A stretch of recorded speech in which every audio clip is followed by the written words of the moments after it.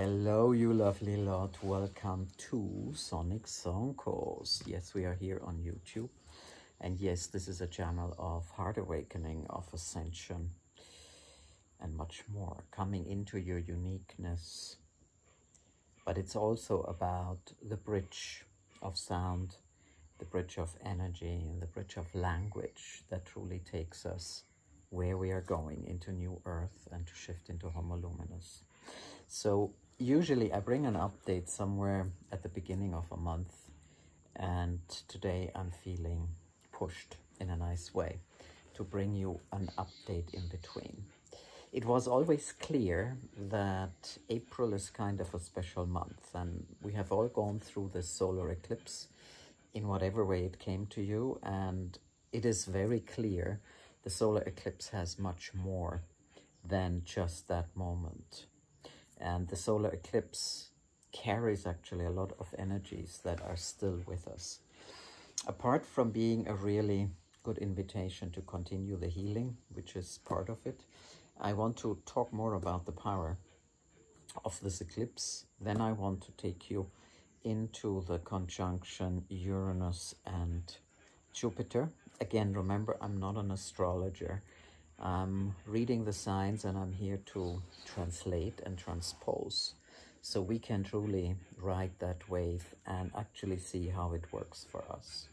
And finally, I want to let you know what has changed for us in that whole energy because it is an energy of dying to the old and coming into the new. And so we feel it.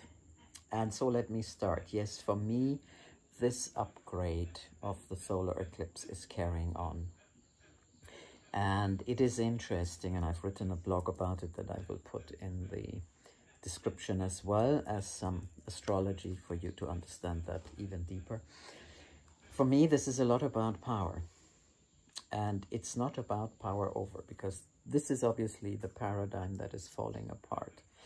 The power that we are experiencing now is actually the power to upgrade, the power to embrace our uniqueness. And that can go as far as sovereignty, of being sovereign in who we are. It is in that upgrade, so the power to upgrade, the power to go out of what we did maybe for a very long time into our uniqueness is actually the key to this new collective consciousness, to this new collective being that we're all experiencing. So the second part is the power for. And the power is actually for us.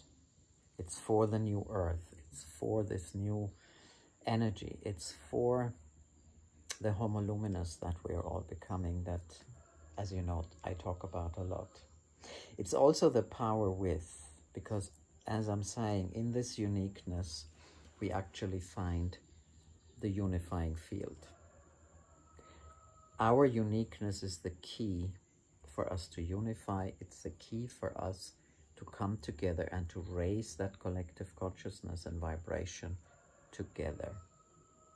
So yes, while the solar eclipse before and after has created that, but there's such, such much, so much more for us to really explore and to to realize, I want to say. And so finally, we're breaking a lot. And this comes more now on the 20th as well. And we also have, of course, the power of. And I want to relate that to my blog, The Power of Choice. So in that, these are all the kind of reminiscences and the ripples of the solar eclipse we're learning about our power, our power to, our power with, our power of, our power for. And we're letting go that control that we have too. It's not just that we may be our, no, we may be controlled. We're controlling ourselves. And I feel all of this is going. And so it's very important that we continue to address all these new levels of power for ourselves and the power with to be in this together. So this is kind of the ripples of the solar eclipse. And on the 20th or 21st, depending where we are at on this planet, we're coming into a conjunction of Jupiter and Uranus. This is kind of unusual. The last time they were in conjunction was in 2011, and then it was in Pisces. It's not so important for me and for you, possibly. What is the exact astrological meaning. The meaning for me is more like what we're going to do with it, what is actually going to happen.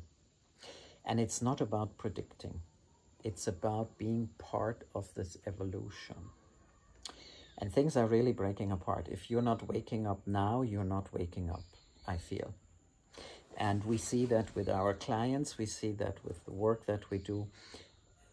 Uranus has already started to really shake it up. And this is also the spirit of this whole year. But now this conjunction for me is extremely powerful. Again, has a lot to do with power. And it has also to do a lot with the power that we let go, but at the same time, the power that we claim. So that waking up, that shaking up, that expansion that we are receiving, not just, as I said, on the day, but around that time. What are we going to do with it? This is all about truth as well. So not only that the truth comes out and the light is shone into the truth, but our own truth. And this particular conjunction is also in Taurus. And the last time that happened was in 1941 whatever that may mean to you or whatever it brings up for you. For me, it's about letting go a lot of the fixed things that we have in life. Taurus is a wonderful sign. Obviously, my beloved is a Taurus at the birth sign, at the birth date, coming up soon. But of course, Taurus can also be very fixed and holding on to values. And this time we're actually inviting to let go. We are shaken, we are awakening. And for me, of course, because we're in heart awakening, it's a lot about awakening to the heart. So there's so much going on. It's maybe one of the most powerful events, taking us out of duality and polarities and all this kind of stuff. And so it's very important that we actually flow with that. And I want to give you just a little bit of a bridge as a sound bridge into all of these beautiful energies and frequencies that are available to us. So that that shaking up and that awakening, whilst powerful and chaotic and all this kind of stuff, is kind of finding you in harmony. Because what this is all about is really that we come back into harmony that we can't harm because we are so in tune and in harmony with self, with this planet, with nature, and with the whole cosmos. So for me, the shaking up is a lot about coming back into that power of harmony, but also coming back into the heart and love.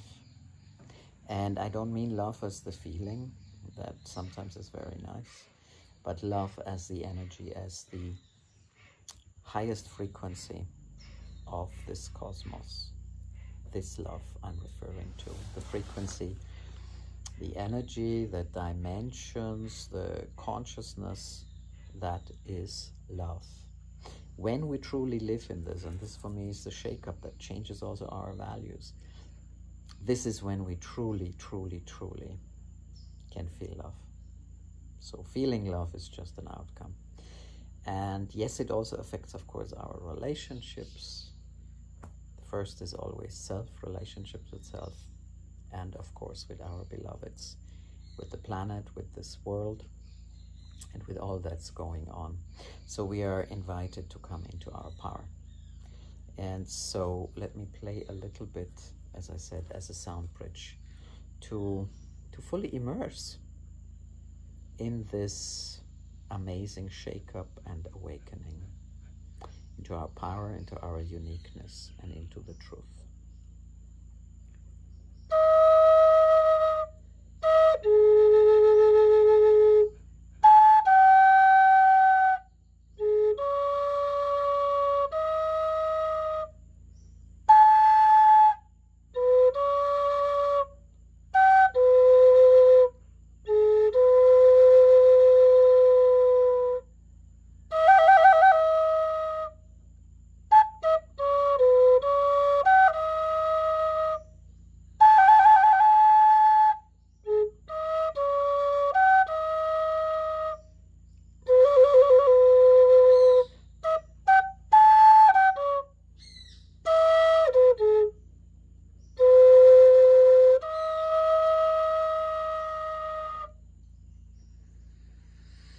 Of course, there's much more to it, but um, I'm here to give you just a little bit of taste. And so, what has been shaken and awakening in our world? Well, we became very clear about our fields. And as you know, we've been tiptoeing around. And in addition, we also got shaken up because we were so excited and hoping for this evolutionary leadership retreat in Jamaica. I remember the date one more time and then I just gonna let it go.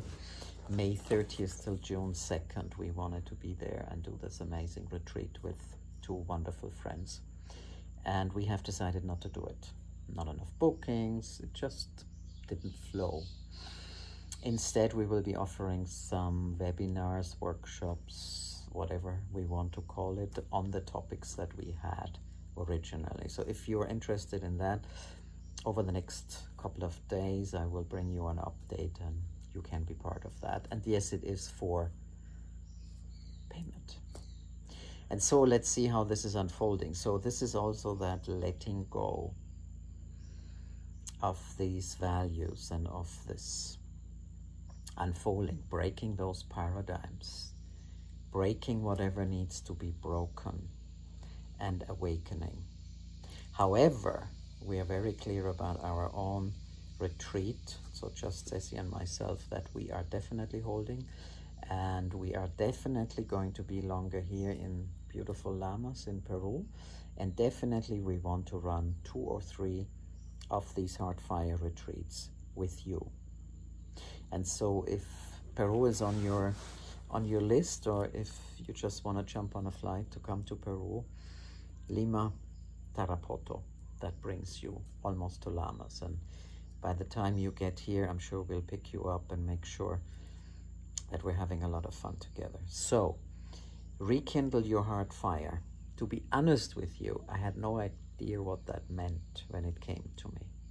It came to me as I heard that in an Aboriginal language, the word for heart and fire is the same.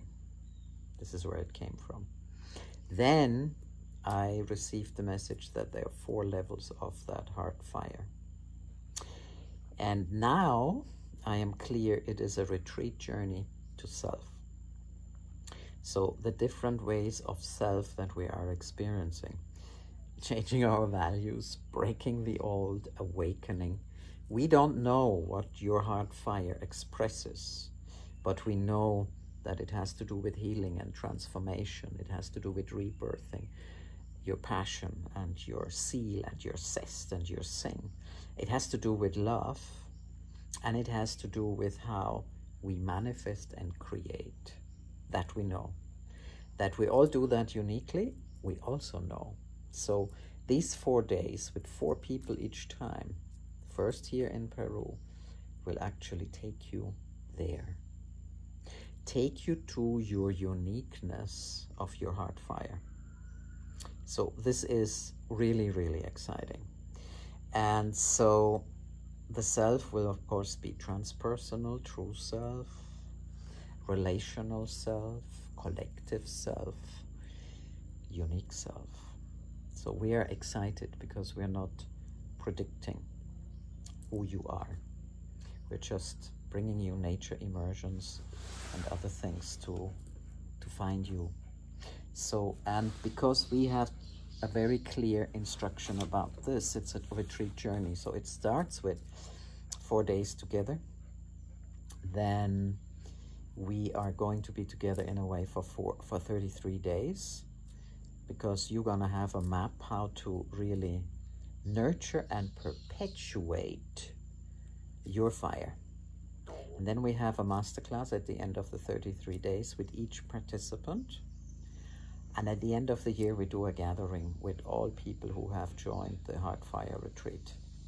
So yes, this, this is very exciting. And this is breaking a lot. Yes, we are kind of the masters of unlearning and all of this, but this is a whole new dimension. So very excited to be with you. Remember, it's for four individual people or for two couples, but always with four people.